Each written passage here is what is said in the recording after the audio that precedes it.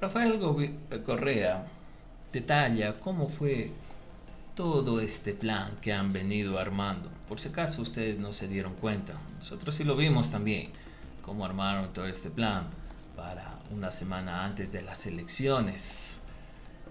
Mencionar, culpar y así tratar de ensuciar la campaña de Luisa González, culpando a Rafael Correa por ser el actor intelectual en el atentado contra Fernando Villavicencio.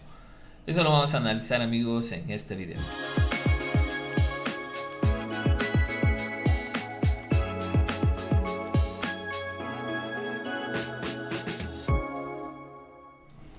Hola, hola amigos, un saludo y bienvenidos nuevamente aquí a Región Network Breaking News. Tenemos un poco más de información en torno a esta situación que están ahora mismo armando, exponiendo para tratar de eh, así bajar y tumbar la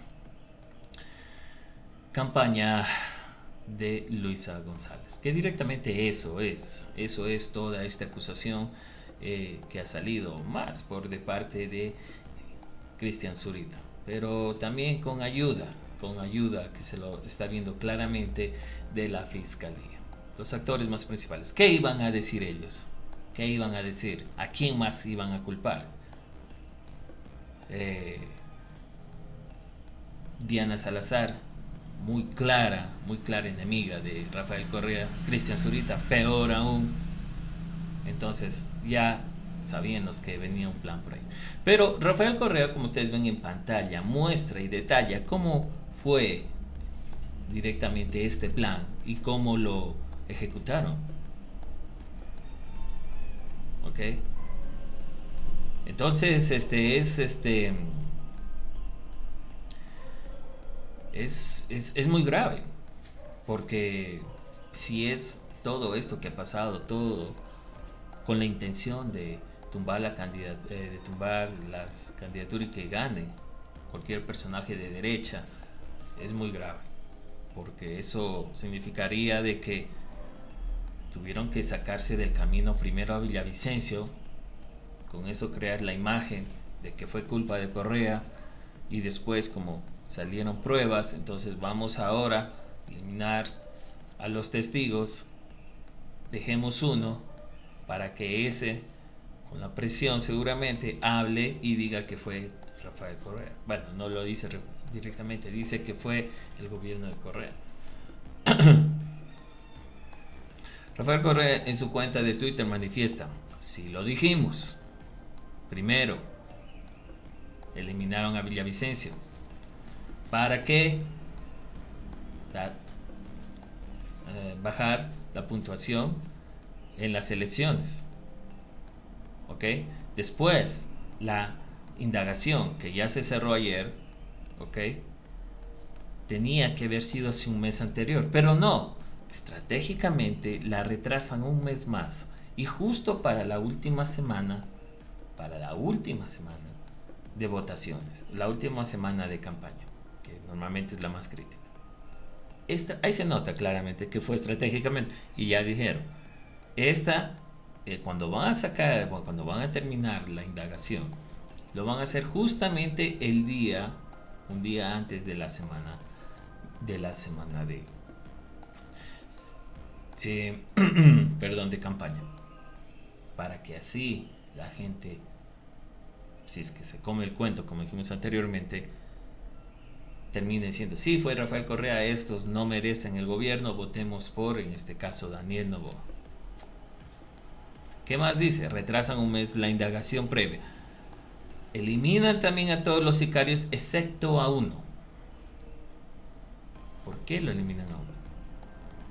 ¿Qué mensaje le quieren dar a ese sicario que queda vivo? Mira lo que les pasó a los otros. Y mira lo que te puede pasar. Si no dices lo que tienes que decir. O lo que queremos que quieras. Y aquí tienen un cuartel militar y lo, y lo hacen acosándonos el 10 de octubre. Cinco días antes de las acciones. De las elecciones, perdón. Todo con tal de impedir la victoria de Rafael Correa. Y es que es increíble realmente. Es increíble el miedo y el terror que le tienen a Rafael Correa. Porque para que lleguen a estos extremos y estos límites, o sea, no hay palabras. No hay palabras. No hay palabras, amigos. Todo esto poniendo, tratando de cubrirse incluso la espalda,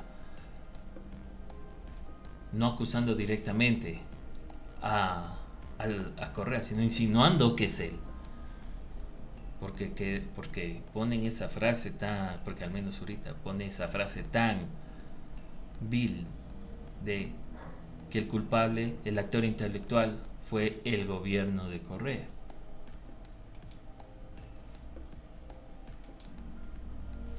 La gente, honestamente, viendo esta situación, muchos actores políticos, vamos a ponerles una imagen, incluso para que ustedes vean que la cosa como que cada vez es menos creíble, ¿no? Ustedes ven en pantalla, lo podemos agrandar un poco más. La esposa incluso de, de Villavicencio, muy cuestionada también y con tremenda riña en su familia, con la familia de Villavicencio, también le hace el juego a esta situación. Sin siquiera tener la declaración completa, la declaración ya de la fiscalía, ellos ya saben todo, ya dieron, ya dieron ellos la, ya dieron la, los detalles de la declaración de la, del, del sicario. Verónica Caroz en su cuenta de Twitter manifestó, alístate porque vas a pagar por este asesinato. Tenemos el testimonio adelantado bajo juramento y te señalan a ti. Ya lo le dice directamente a Correa. Ok, el testimonio tiene que venir acompañado de pruebas. Ok, ya dio el testimonio. ¿Quién fue el que te contrató?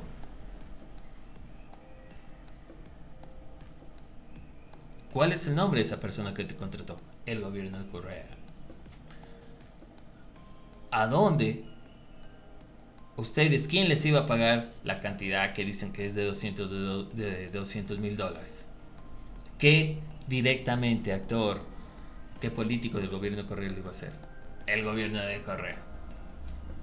Verónica Arauz también, también tiene que tener las pruebas de lo que dice, ¿no? Porque el testimonio bajo juramento suena como que ya un preparado y organizado para así difundirlo y así suene.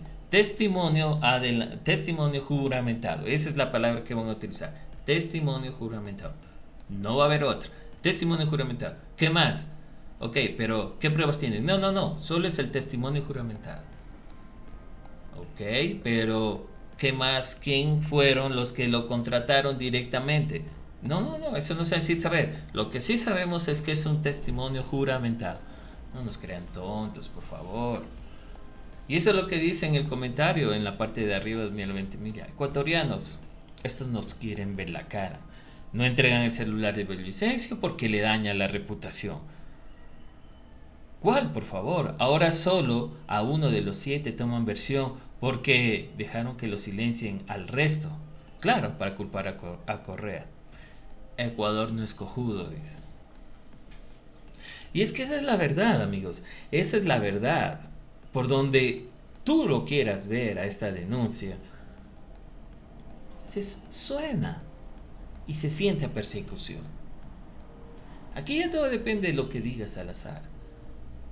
Si sale Salazar a decir de que el gobierno, de que el testigo dijo que fue en el gobierno de Correa, o muy todavía delicado que diga que es eh, Rafael Correa, o sea, se estaría realmente cargando un problemazo, un problemazo, un problema bien grave, bien Salazar, cuando le pidan las pruebas, no las pueda dar, pero como ahora no la pueden tocar porque está bajo el gobierno de derecha, pero cuando se vaya y le digan que realmente muestre cómo fue Solo que lo terminen de una vez de solo que lo terminen de eliminar al último testigo para que no hable, no diga nada y después digan eh, no fue culpa de eh, fue culpa de no sé, eh, cambiemos el general, cambiemos entonces al, al director del SNAI y ahí con eso no pasó nada.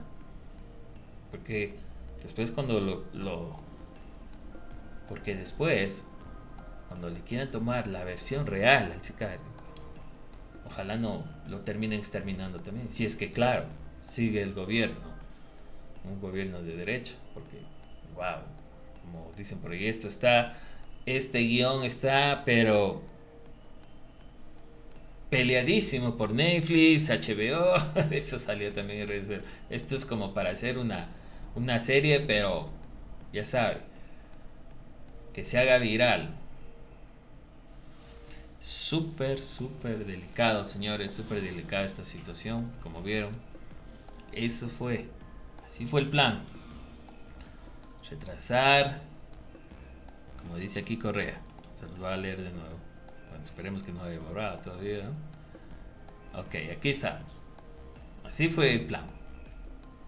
Retrasar un mes la indagación para armar el plan bien sacar a los sicarios, eliminarlos del mapa y dejar solo a uno, presionarlo para que diga el discurso del gobierno de Correa.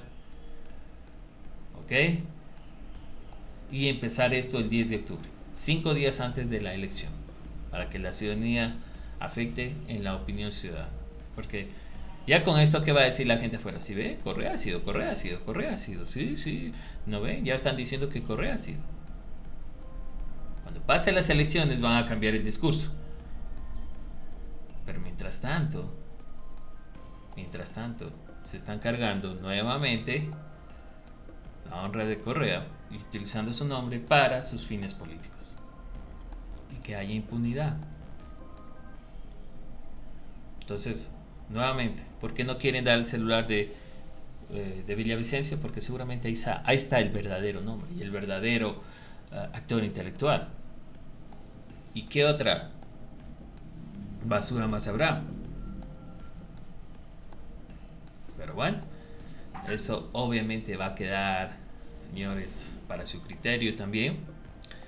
Y ya hay algunas advertencias de parte de los grupos de, de, de, los, de los grupos del correísmo.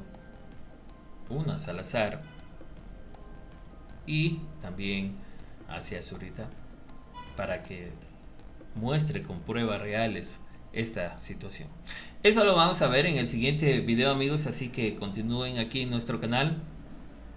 No se vayan, no se olviden de suscribirse, dejar su comentario y nos vemos en la próxima. Saludos.